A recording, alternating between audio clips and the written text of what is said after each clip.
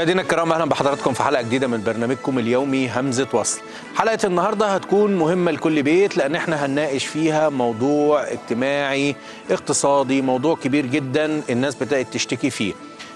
من تقريبا من 30 سنة بدأ ظهور الفيديو جيمز أو الألعاب الإلكترونية وبدل ما الناس كانت بتقعد بالكتير اتنين بيقعدوا على جهاز واحد يلعبوا جنب بعض الناس دلوقتي وصلت إن هي بقت بتلعب مع ناس تانية في قارات تانية عبر الإنترنت وفضاء الإنترنت. والجديد اللي داخل كمان قريب علينا إن آه، الواقع الافتراضي اللي هو ناس بتلبس نظارة وهتعيش جوه اللعبة بشكل افتراضي آه، وده بدأ ينتشر بشكل كبير. آه، صناعة الألعاب تقريبا صناعة بقت أكبر وأضخم صناعة في العالم وعدت صناعة الأفلام بما يقارب 200 مليار دولار. في السنة. هذه الصناعة بقت أكبر من صناعة الأفلام على مستوى العالم. وهوليود نفسها اللي هي أكبر صانع للأفلام في العالم بقى بيشتكي من صناعة الألعاب. الألعاب انتقلت للموبايل أيضا وآخر إحصائية بتقول إن 51% من شركات الألعاب اهتمامها آه، بقى على الموبايل أو 51% من ال games أو الألعاب دي تحولت إلى الموبايل. مين فيكم ما دخلش كأب أو أم دخل على ابنه أو سمع ابنه بيزعق وبيقول الحق آه، آه، اضرب اللي على يمينك دوت فجر الدبابة دي فج وبعدين يدخل يلاقي ابنه بيلعب video games مع حد إحنا مش شايفينه مع ناس تانية ربما من قارات تانية من دول تانية مين دول أشكالهم إيه جنسياتهم إيه كبار صغيرين ما نعرفش. مع هذا آه، طبعا علماء النفس بيحذروا جدا من تأثير ده وشفنا طبعا لعبة الحوت الأزرق اللي عملت ضجة على مستوى العالم وسببت حالات انتحار في دول كتير ومنهم مصر. شفنا أيضا آه، لعبة ببجي اللي هي بتتلعب على الموبايل. واحد الشباب قتل حد علشان آه، يطلع العنف اللي جواه أو بيمثل هذه اللعبة. علامات الاستفهام كتيرة ونواقيس الخطر بتضرب والنهاردة إحنا بنتكلم في هذا الموضوع. وسؤالنا بعد انتشارها عالميا كيف ترى المخاطر النفسية والاجتماعية للألعاب الافتراضية الجماعية؟ بالطبع همزة وصل إي جي هو عنواننا الموحد على جميع مواقع التواصل الاجتماعي خاصة الفيسبوك.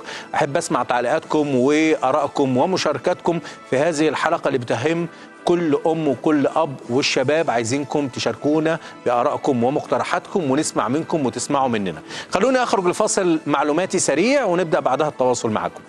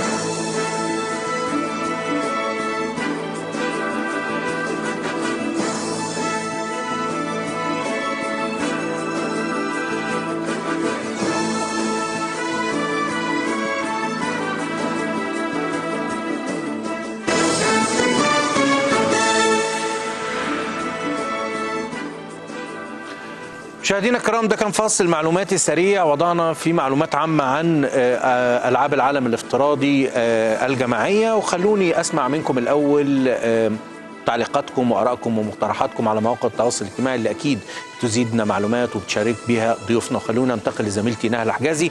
يعني مساء الخير يا نهله طبعا موضوع الفيديو جيمز بقى كتير. بقى بيقلق كمان آه، الآباء والأمهات في البيوت بسبب آه، هم مش عارفين ولادهم بيتكلموا مع مين. أيضا مش عارفين ولادهم بيعملوا إيه وهل اللي ممكن بيشوفوه مع ان اهالي كتيرة بتقول ان هو بيطلع الطاقة اللي جواهم بس ممكن ده يؤدي إلى مشاكل تانية. رأيك إيه يا نهلة وآراء المتابعين معاكي على الموقع؟ صحيح يا حسام المفروض يكون الأهالي أكثر وعيا وألا يعني يتفرغوا لأشياء أخرى بخلاف أبنائهم. لابد أن يركزوا مع أبنائهم بعض الشيء حتى يتعرفوا على عالمهم الخاص. فأنا أؤيدك في الرأي وأعتقد أن معظم من كتبوا لنا على صفحتنا يؤيدون هذا الرأي أيضا حسام. وهم في حاجة إلى مزيد من المعلومات التي نشرنا جزء منها في الفاصل المعلوماتي السابق. على أي حال دعنا نأخذ بعض الآراء ونبدأ بأيمن رمضان الأنصاري واللي بيرى أن انتشار هذه اللعبة نتيجة للعولمة والتقدم التكنولوجي في العالم. لكنه بيحتاج ل تكويد لهذه البرامج أو تشفير لها حتى يستطيع أن يتعامل مع أبنائه وأن يمنعهم من التوجه لها طوال الوقت. أيضا بيقول إن هذه الألعاب بتؤدي إلى الخمول وإلى ضعف العضلات وإلى ضعف العين والسمع فده بيتفق إلى حد كبير مع أيضا ما أوردته من معلومات حسام وهو يرى أنه لابد أن نتعامل معها بجدية أكثر من ذلك. أبو مصطفى بيقول الألعاب دي مشكلة بتتسبب في إيذاء نفسي وجسماني ويا ريت يتم حظر الألعاب من هذا النوع. أما ناهد عبد الفتاح فبتقول الألعاب دي سيئة جدا هي والأفلام الإباحية اللي موجودة طوال الوقت على المحمول وهي أكثر ضررا. ولكن لماذا لم نفكر في ربط المحمول بالنت بحيث يتم بعث رسالة من الصفحة الأب والأم أو الزوج والزوجة باللي الأبناء بيقوموا بتداوله أو باللعب عليه في نفس الوقت. وده يعني هيهيئ الأم والأب إنهم يراقبوا أولادهم في التو واللحظة. ده اقتراح هي بتقوله حسام يعني نوع من الرقابة من غير ما نشعر الأبناء إن إحنا بنراقبهم بطريقة أو بأخرى. دي آراء سريعة عندنا مزيد من الآراء ولكن لافساح المجال أمام المتخصصين أعود إليك سريعا حسام. بشكرك يا نهلة وبالطبع ويعني خلوني أسمع آه اسمحوا لي إن أنا أجاوب طبعا على الأستاذة سوزان. آه إحنا عندنا مختلف عن بره. بره الأهل بيراقبوا اولادهم كويس قوي وفي رقابة أيضا من هذه المواقع وإن كل جيم أو لعبة مصنفة تصنيف ليها سن ما ينفعش أو ممنوع على السن اللي قال إن هم يستخدموها. لكن خلوني بقى نت يعني نبدأ مع ضيوفي على الهاتف ونحلل أكثر بشكل أعمق. مع الأستاذ شريف عبد الباقي رئيس اتحاد الألعاب الإلكترونية. أستاذ شريف أهلا بيك في البداية. ومع المستشار محمد الألفي رئيس الجمعية المصرية لمكافحة الجرائم الإنترنت. أهلا بسيادتك يا سيادة المستشار. أهلا أهلا بحضرتك. أستاذ شريف أبدأ معاك. بما إنك رئيس اتحاد الألعاب الإلكترونية وفي تصريح أنت قلت فيه إن السيسي ثاني قيادة بعد ميركل بتهتم بصناعة الألعاب وأنا قلت في البداية إن صناعة الألعاب آخر تقييم لها 200 مليار دولار على مستوى العالم دي الصناعة نفسها. ده غير طبعا الصناعات المكملة اللي بدأت تظهر بشكل كبير. تمام معلومات صحيحة و 200 مليار 2020 يعني بعد سنتين إن شاء. الله العالم هينتج برمجيات ألعاب إلكترونية قيمتها 200 مليار دولار. نعم. آه يعني دنيا واسعة يعني صحيح. اقتصاد دول آه يعني فرصة كبيرة آه جدا كل المخاوف اللي حضرتك قلتها والسادة المشاهدين طبعا في منها كتير صحيح الدول المستشارة أنجيلا ميركل في هي وحزبها في البرنامج الانتخابي أكدوا على إن لحمايه المجتمع الألماني ثقافيا نعم. واجتماعيا لابد أن نقتحم أو نكون لاعبين أساسيين في صناعة الألعاب الإلكترونية ده الألمان م. اللي بيعتزوا بنفسهم أصحاب الاقتصاد القوي اللي بيقودوا أوروبا حاليا والاقتصاد العالمي نعم. خايفين أو نعم. متخوفين نعم. لكن خوف إيجابي مش خوف مرضي م. اللي هو يا شعب ألمانيا لما نعلن عن امتيازات نجذب بيها مطورين الألعاب الإلكترونية ما تقولوش إزاي بتدوا امتيازات لناس غير الشباب الألماني لأن دول لما نجذبهم عندنا إحنا بنخوض بيهم معركة صناعة مهمة صحيح. جدا للحفاظ على الهوية الثقافية والاجتماعية. في النقطة دي نقطة مهمة لو انت لو انت يعني في النقطة دي نقطة مهمة، أغلب الألعاب الأمريكية اللي ظهرت في العشر سنين اللي فاتت تحدثت وكانت سيناريوهاتها اتطبقت على الأرض بعدها بسنين من بداية من حرب أفغانستان حرب العراق وغيره، أنت معايا في ده؟ آه نوعا ما صحيح لكن هو مش بيعمل لعبة وبعدين يقول لهم اتدربوا عليها عشان هاخدكم. هو هنا بي هو بيقيس عن طريق علم النفس بدل ما يعني موجة التخويف اللي هي غير مبررة أو مش مبررة يعني تضخيمها بطريقة تعجز أولياء الأمور والأهل نعم. والمجتمع على أنهم يعملوا حاجة. في الآخر يقولوا إيه إحنا مش هنقدر نعمل حاجة فهنسيب من كتر التخويف. لا في حرص. خوف لا. نكون حريصين. هو بيعمل إيه؟ هو بيقيس. اللي يلعب اللعبة دي نعم. يميل للعنف. نعم. اللي يوصل للمرحلة دي فيها جوه اللعبة لأنه ده مم. الألعاب دي كلها يبقى عنده رغبة في التدمير الذاتي مم. اللي يوصل للليفل العالي جدا يحب يمارس العنف اللي شافه على اللعبة على أرض الواقع طب نعم. يلا بقى نتعرف عليهم يلا نستقطبهم يلا مم. نشوفهم هم مين يلا نستخدمهم يلا إيه نشتغل معاهم أو نشتغل عليهم بمعنى أصح تمام طيب الكلام ده دي علم. دي أيوه ده كلام علم وخلينا نتنقل بالنقطة دي ودي نقطة هامة للمستشار محمد الألفي آه آه رئيس الجمعية المصرية لمكافحة جرائم الإنترنت. آه سيادة المستشار تحياتي في البداية. أهلا وسهلا. الخير- بحضرتك. الخير بحضرتك. وبالضيوف أو المستمعين ومساء الخير بصديقي الأستاذ شريف. أهلا بيك. سيادة المستشار خلينا نتكلم في فكرة الاستقطاب وفكرة تحول الإنسان للعنف عن طريق هذه الألعاب. في البداية كانت آه، آه، ضيفتنا على الإنترنت قالت إن هي عايزة تربط الألعاب بالموبايل يجي رسالة للأب والأم ابنهم نزل إيه وعمل إيه. فأنا رديت عليها وقلت لها ده موجود عندنا بس إحنا اللي مش متابعين آه، أبنائنا كويس. لكن بره ال games عليها rating معين ما ينزلهاش أقل من سن معين. طبعا هم عشان كأطفالهم نفسهم عندهم accounts ليه إحنا ما وصلناش أو نحاول نوصل ونعلي من الوعي بتاع أهالينا في مصر بده؟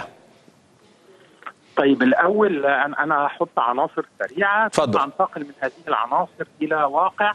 آه، آه، أصبحنا في ظاهرة. هذه الظاهرة تحتاج إلى الرصد وبعد ذلك مم. التحليل وبعد ذلك العلا- العلاج والتشفير. تمام. الظاهرة هي آه، التأثير المباشر وليست غير المباشر. بهذه الألعاب وتأثيرها في العقل الباطن والعقل الذهني وردود الأفعال للأطفال. وكلمة طفل في القانون هو ما دون 18 عاما. جميل. فلا أتحدث عن أطفال تسعة سنوات ولكن معنيين بالجرائم التي ترتكب من مم. خلال هذه الألعاب أو من تأثير هذه الألعاب ما دون 18 عاما. يبقى إذا أصبحنا في ظاهرة. هذه الظاهرة تسمى ظاهرة عنف. نشيل كلمة عنف ونضع كلمة تنمر.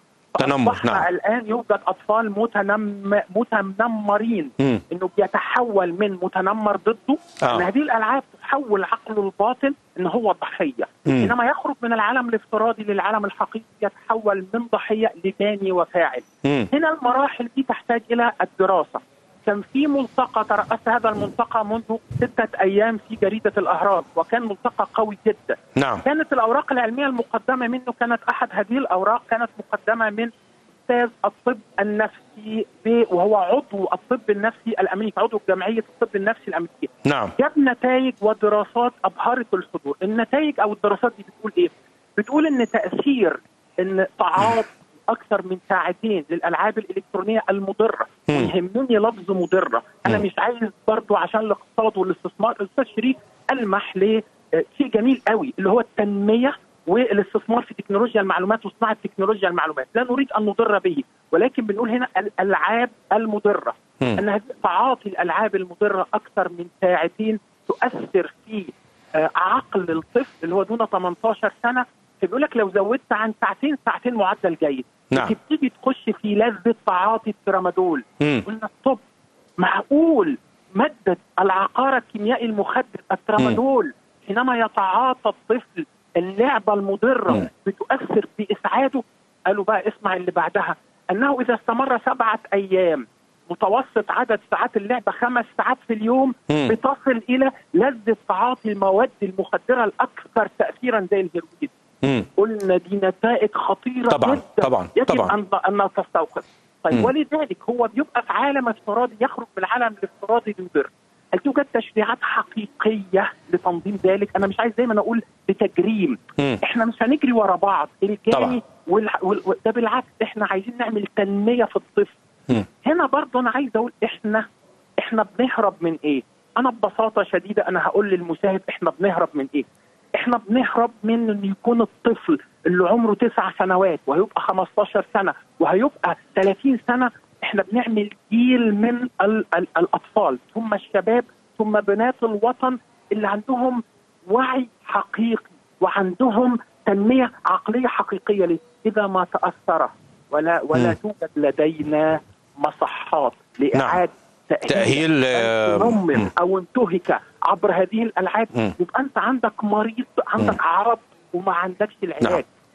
طيب. في اشكاليه إن في جيل كامل ممكن نفاجئ بعد سبع سنوات مم. هذا الجيل وعايز أقول تجربة ألمانيا. حضرتك اسأل سؤالك وأنا حابب أقول للمشاهد تجربة ألمانيا تجربة جميلة وميركل كانت واضحة مع المؤسسات في ألمانيا. سريعا يا دكتور ممكن طب تسمح لي أنتقل للأستاذ شريف الأول وبعدين نسمع تجربة ألمانيا بعدها.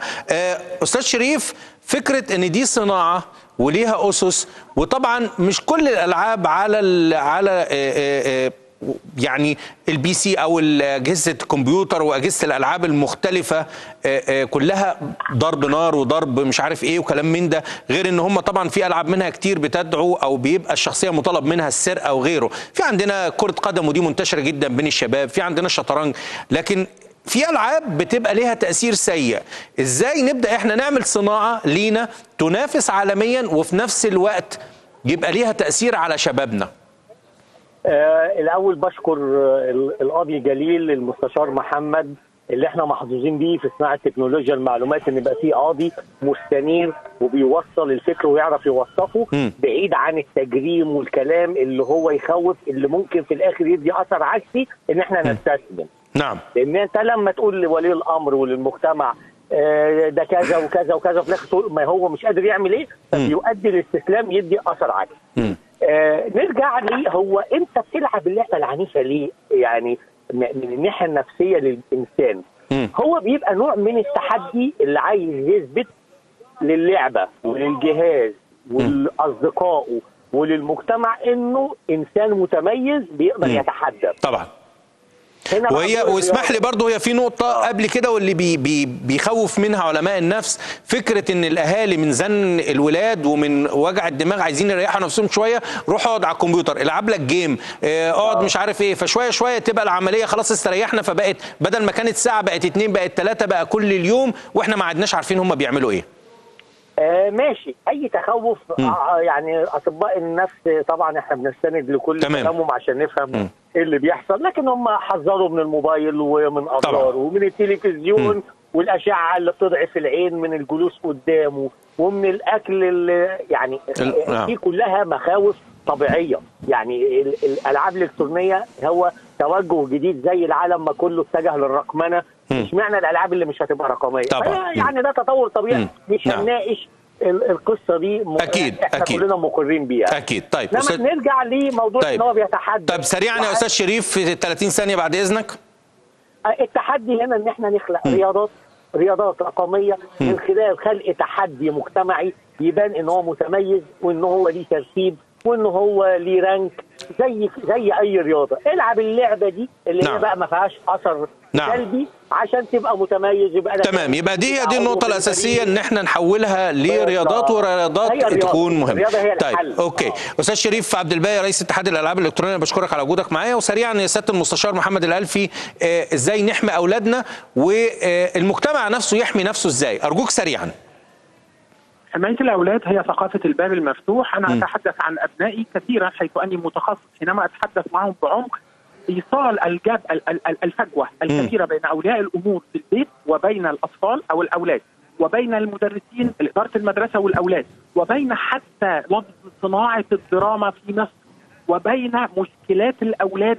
إحنا في جاب ولذلك سريعا كده إحنا عايزين نوزع الأدوار. إحنا. محتاجين لمدرسه حقيقية لديها إدارة حقيقية تتنبه لهذه المشكلات تمام. وتقوم بالبحث عن العلاج نحتاج إلى اولياء الأمور واعيين جدا بقص الباب المفتوح نحتاج إلى حتى الخطاب الديني حيث أن توجه الدولة بنقول يا جماعة نشوف الخطاب الديني ونربطه بثقافه المجتمع إن يبقى في حرام وحلال لمثل هذه الألعاب وفتاوى جميلة نعم. نقول حتى بنقول إن مؤسسات ال- ال- التعليم العالي إن يبقى في مواد لإعادة. هذه المواد ترتيب أفكار الأولاد نعم آم، آه، الموضوع عميق الموضوع يحتاج لمساحة أكثر للطرح وأنا بشكر جدا مثل هذه. البرامج اللي بتخاطب المجتمع المصري نعم. علشان ثاني مش كل الألعاب الإلكترونية مضرة ممكن نعم، نقول طبعا. 25% بس يتصادف إن ال 25% بيكون لها تأثير وم- ومخاوف أكتر من الباقي. صح. سيادة المستشار محمد الألفي رئيس الجمعية المصرية لمكافحة جرائم الإنترنت أنا بشكر حضرتك على وجودك معايا ومشاهدينا الكرام بما إن ده برنامجنا بنتواصل معاكم وبنسمع آرائكم والموضوع ده موضوع بيهم كل بيت خلوني أرجع لزميلتي نهلة حجازي مرة تانية ونستمع لمجموعة من آرائكم وأكيد هنرجع نشارك بيها المحللين معانا اتفضلي يا نهلة الحقيقة أن المحللين أنفسهم هم آباء وأمهات ويشعرون بمدى خطورة هذه الألعاب فيتفقون معنا في الرأي حسام. أيضا على صفحتنا على فيسبوك الآراء ما زالت كلها بتتجه في اتجاه واحد نحو خطورة هذه الألعاب. على سبيل المثال سوزان مسلم تقول للأسف سيطرت هذه الألعاب على مخ وتفكير النشء وجعلته جيل عصبي ما عنده خلق ولا بال لشيء. والبرامج دي بتساعد على إنها تمارس يوميا بدون استفادة من أنشطة أخرى.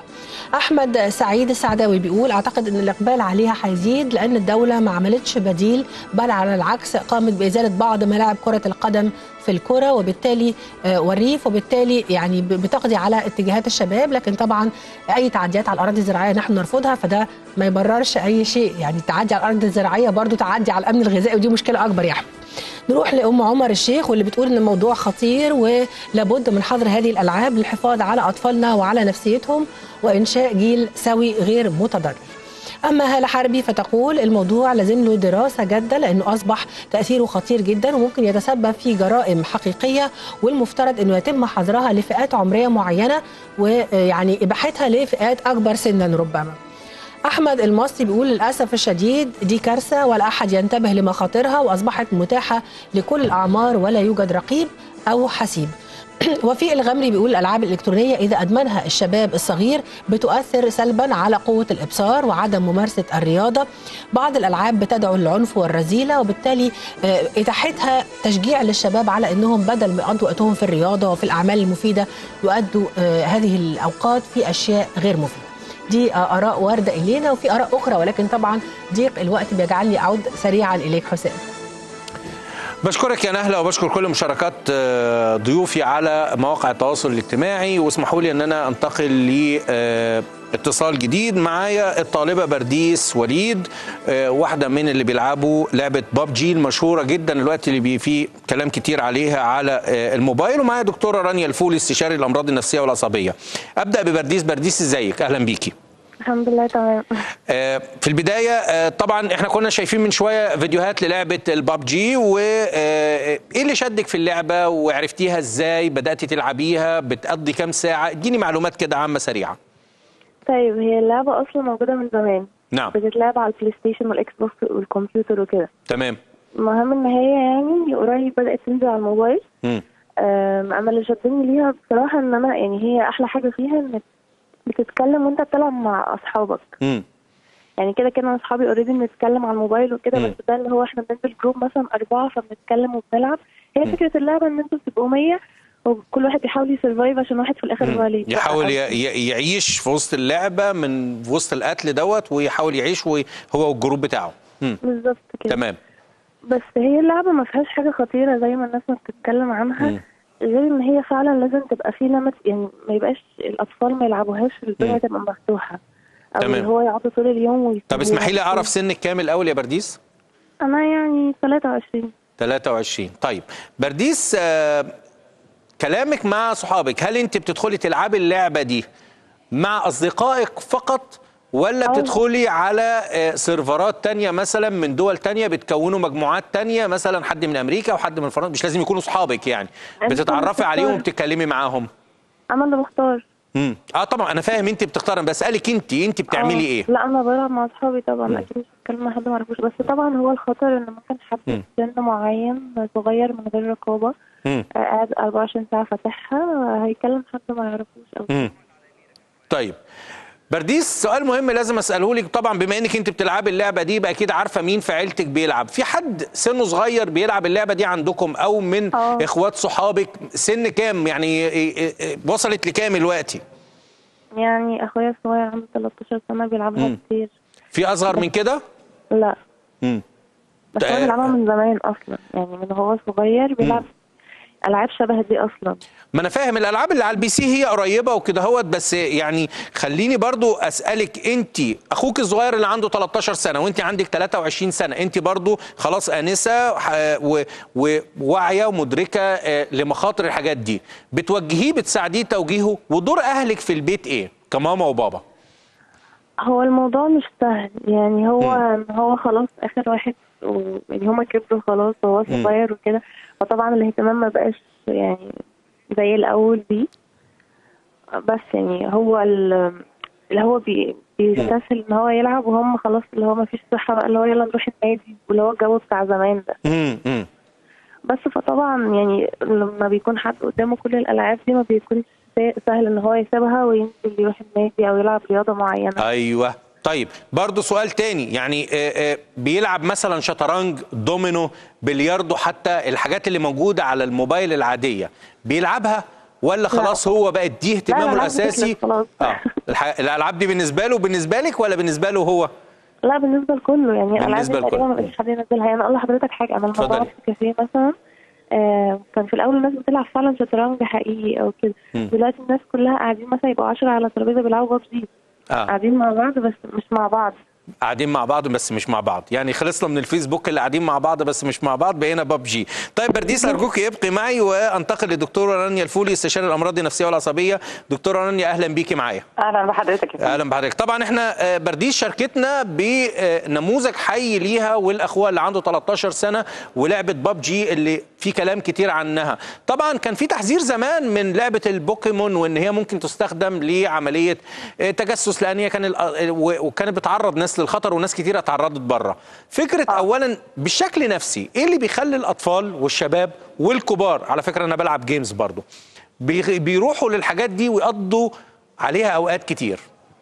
آه، طبعا هم الناس اللي بيعملوا نعم. الألعاب دي هم دارسين كويس علم نفس وعلوم النفس و- وإزاي أخليك تكسب وإزاي أخليك تفضل تلعب اللعبة دي وإزاي تشترك. والميشنز آه، أو. الحاجات آه، المفتوحة اللي تفضلي واحدة ورا واحدة وتجرك لواحدة جديدة وغيره. أيوه. بالظبط. هي الفكرة إن هو إحنا يعني ال- الخوف قوي من ال- اللعب الإلكترونية يعني مش حقيقي قوي الحقيقة. يعني الأبحاث قالت إن هو آه، مش ب... مش المفروض نخاف قوي يعني. تمام. آه، دي آخر الابحاث ال- آه. آه ده في الأبحاث يعني مم. إن هم كانوا بيعملوا بحث كده من بيشوفوا من سنة 2000 ل 2018 آه ليها مميزاتها مم. وليها عيوب طبعا عيوبها طبعا لما آه الناس تنفصل آه ويبقوا آه ما بينزلش التمرين زي ما بتقول لأ مم. الأهل ساعتها هنا المفروض يتدخلوا مم. لأ أنت تنزل تلعب آه تروح التمرين آه آه يبقى في تايمنج. معينة تلعب ساعة وتلعب. تمرينك يعني ساعة آه اتفاق بيننا. وبين أولادنا إن هي يبقى بيننا اتفاق يعني مثلا إحنا عندنا تمرين يوم كذا الساعة كذا ولازم نعمله وكده هتذاكر إمتى. هتخلص إمتى؟ يعني دي كلها بالاتفاق بيننا وبينهم. آه أنت بتلعب لعبة إيه؟ إحنا المفروض نقول لهم يعني نعرف منهم آه اني لعبة اللي هي اللي هو. بيلعبها. آه هل اللعبة دي فيها مناسبة لسنه؟ يعني مش مكتوب عليها مثلا طيب بلس اسمحيني 16. اسمحيني أشاركك آه، في مقال في الأهرام آه، في تضيف الدكتورة سهير صفوت أستاذ علم الاجتماع المساعد بكلية التربية بجامعة عين شمس إن مثل تلك الألعاب قد أصبحت مربية إلكترونية حيث أنها تعمل على إعداد ونشأة الطفل عليه في ظل غياب الأب والأم وجعل هذه الألعاب مكافأة لهم. طبعا فكرة إن الأب والأم ساعات بيستسهلهم آه، آه، ابنهم بيزن وبقى بيزن مخصوص عشان يروح يلعب على الكمبيوتر فروح يلعب على الكمبيوتر وإيه عشان نستريح شوية. فده طيب. ال ال ال games نفسها بقى فيها حاجات كتيرة يعني فيها اللي بيعلم القتل فيها اللي بيعلم السرقة فيها آه، آه، ال missions نفسها آه، النشل وغيره ده بيأثر فعلا على الشباب ويحولهم ممكن يخليهم يتحولوا لده بص حضرتك هم حاولوا برضو يثبتوا إن العنف ال- يعني الحاجات العنف اللي فيها عنف آه، بتأثر على الولاد ولا. لأ واثبتوا ومش عارفين يوصلوا مش عارفين يوصلوا. الحقيقة. مم. آه يعني هو بيلعب آه حاجات عنيفة ولكن هو في الحقيقة في الواقع الحقيقي هو ما, ما عملوش ما حدش. عمل آه مثلا جريمة أو كده. فهي بس إحنا كان حطيتنا عندنا قريبة دكتورة آه، الشاب اللي قتل يعني أنا مش متذكر أمه أو جدته أو حاجة زي كده بسبب إن هو آه، بيلعب ببجي وهو بيقول إن هو كان عايز يطبق ده أو عايز يخرج ال- العنف اللي جواه أو حاجة زي كده يعني. أنا طبعا ما أعرفش الشاب ده وما شفتوش نفسيا عامل إزاي. فما أقدرش أحكم إن هو ده ما عندوش مثلا أي مشاكل نفسية تانية. أخرى. آه ما نقدرش نحكم على كده. فهو كلامه اللي يقوله يعني مش. هنقدر ناخده محتاج برضو حد نفسي يقعد معاه. آه, آه آه. طبعا مم. طبعا آه تمام. الطب الشرعي نفسي يعني يشوفوا ويشوف إذا كان هو فعلا يعني سليم القوى طيب. العقلية وكده آه، آه، مم. مصطلح جديد سمعته من المستشار المستشار محمد الفولي إحنا عارفين التنمر تمام أيوه أصبح في تنمر إلكتروني يعني كمان إن الشباب بيبقوا متنمرين الكترونيا على مواقع التواصل الاجتماعي وفي ال games ومتنمرين في الحقيقة. سريعا كده يعني إيه تنمر وإيه الفرق بينه وبين التنمر الإلكتروني؟ طيب التنمر آه التنمر إحنا دي كلمة جديدة علينا بالعربي يعني وهي لما دورنا على كلمتها العامية ما لقيناش الحقيقة غير إن واحد بيمارس القوة. آه على آخر يعني. نعم. آه ما عندهاش كلمة بالعامية يعني غير البلطجة. الحقيقة آه. دي. كلمة مش آه مش قد كده بس هي مم. الكلمة ال- اللي موجودة. ده ممكن يكون بالكلام بال آه، باللفظي يعني وممكن يكون بالضرب آه، آه، آه، آه، جسماني يعني. آه، آه، شوية ولاد أو بنات بيقرروا إن في واحد يضطهدوا حد آه، ما آه، آه، بسبب شكله أو جنسه أو ضعفه أو لونه. بس هو طبعا هي دي كتيرة أكتر بره آه. ما بيبقاش عنده حاجة شطارته. غير آه مثلا إن هو شاطر آه فبيبقوا غيرانين. طيب. آه الفكرة إن آه، الناس دول آه، دلوقتي الولاد خلاص. آه، بقوا بيعرفوا الإنترنت كويس. وبيتعاملوا معاها كويس جدا فساعات بيعملوا مثلا أغاني آه على واحد ويكملوا التنمر بقى هو آه، آه. يوتيوب مثلا مش عارفة تمام. آه فيلم وكده وي- ويبتدي طيب. هو ده التنمر اسمحي لي أرجع. لبرديس تاني وبرضه نعيش معاها تجربتها برديس آه، من واقع تجربتك بقى في لعبة البابجي أو غيرها من الألعاب الإلكترونية. انت قلت لي كلمة مهمة. إحنا بنبقى قاعدين في الكافيه أو نبقى قاعدين في الجامعة أو نبقى قاعدين في المدرسة قاعدين مع بعض ومش قاعدين مع بعض. هل ده بيحول ال- الناس لانطوائيين اجتماعيين؟ ولا بدلنا ده بال بال بال بال social لا ال social أكيد ميديا. طبعا خصوصا للسن الصغير. هم خلاص بيطلعوا يعني مثلا إحنا حياتنا مثلا وإحنا صغيرين مختلفة خالص عن حياتهم دلوقتي. كنا بنلعب مع بعض في الشارع بنتعلم كوتشينة شطرنج الحاجات اللي حضرتك قلتها فعلا. بس دلوقتي كنا فعلا بنروح النادي بنلعب رياضة حتى لو مش perfect فيها بس بن. يعني في option إن إحنا نروح النادي طبعا. أو كده. دلوقتي الفكرة إن هم الجيل الأصغر مش عايزين أصلا يتواصلوا مع بعض غير إن هم جيمنج ألعاب بيدخلوا ساعات مع بعض أو حتى حتى جوه اللعبة. بس فكرة إن هم يقعدوا مع بعض ينزلوا حتى يقعدوا في الشارع الموضوع ده قل خالص. طيب آه باباكي ومامتك بيسالوك على الألعاب بيشوفوا موبايلك نازل عليه إيه؟ آه طبعا بما إنك أنت طبعا 23 سنة فعديتي سن الرشد آه ساعات بيبقى مش من حق الأهل إن هم يدخلوا على الموبايلات يعني وي- ويشوفوا ويتابعوا لكن مثلا زي أخوك اللي عنده 13 سنة بيشوفوا هو بيلعب إيه بينزل إيه متابعينه وده اربطيه لي مثلا بأصحابك صحباتك إخواتهم وكده.